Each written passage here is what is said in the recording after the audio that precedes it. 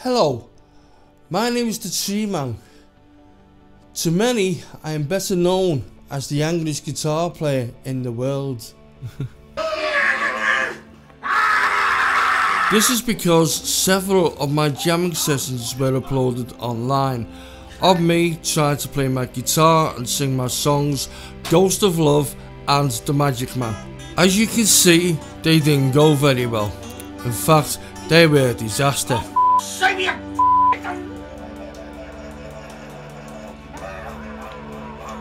I thought I would be doomed as a singer and a performer.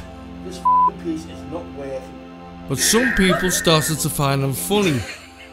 Man blaming this wrist for whatever's going wrong. This wrist is doing my piss and engine. This wrist is doing my piston antics.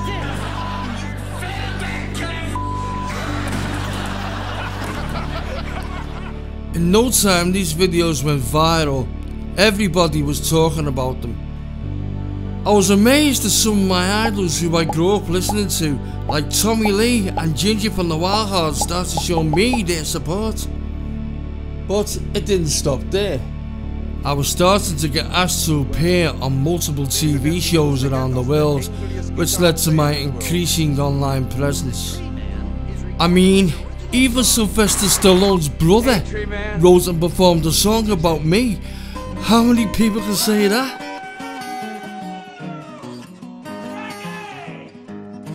You got too much pork, no bite. Got too much beer last night.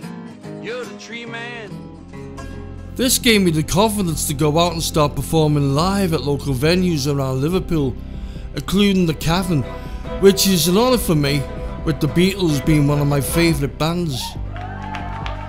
Thank you. So the question is, why am I starting a Kickstarter page? Well, it's always been a goal of mine to release an album of songs to the public. And for the best part of five years, I've been constantly writing songs that are very meaningful to me. As you can see, it takes me a good few tries before I get songs correct. This is due to having severe OCD and a low self-esteem. Having this condition hasn't been too kind to me in the past. Whilst I've been recording in the studio, racking up huge bills due to getting songs wrong over and over again. But you do have my promise that this time I'm going to put it right.